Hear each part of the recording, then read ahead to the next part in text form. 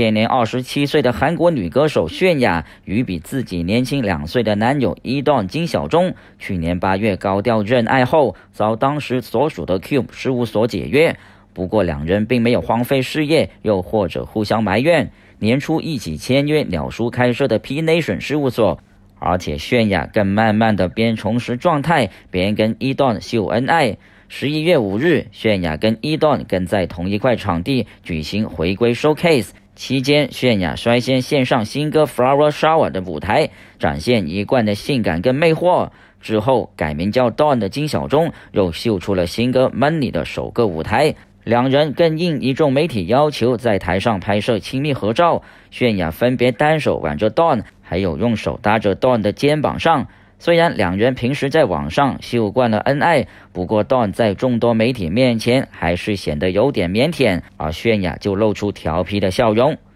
在群访环节中，泫雅大赞男友在音乐方面有很多值得自己学习的地方，也很令人尊敬，给了自己不少正能量，甚至让自己在台上更有自信地展露笑容。另外，为了配合两人的打歌活动，泫雅跟 Don 今日也分别做客几大电视台的多档节目，包括周六晚播出的 JTBC 综艺节目《认识的哥哥》，而跟 Showcase 同一天晚上播出的 SBS 节目《深夜正式演绎》中，泫雅就腼腆的笑说，当初是自己主动向男友告白，又坦言不想再欺骗一直爱她的人，所以才选择公开恋情。魔方传媒综合报道。